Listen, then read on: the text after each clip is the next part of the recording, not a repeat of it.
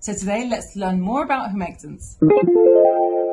Humectants belong to a group of water-loving or hydrophilic compounds that attract water to the skin. They are used in the cosmetic industry to reduce dehydration and also bring plumpness to the skin by drawing moisture to the epidermal layer. This can be either from the environment, what we call as extrinsic, or from within the dermis, what we call as intrinsic. Some popular humectants that you may know are hyaluronic acid, lactic acid, glycerin, panthenol, which is one of my favorites, by the way sodium PCA, and urea, and the list will go on. One thing that is not so much taught is the molecular weight. So molecular weight plays a huge role in terms of the penetration of an ingredient. What this means is that the lower the molecular weight, the better it penetrates into the skin. So glycerin, for example, will penetrate deeper than sodium hyaluronate because it's a smaller molecule. So when you are choosing hydrating serum, ensure to look for a product with various humectants. This product, for example, has numerous humectants, whereas this product only just focuses on one type of humectants and hence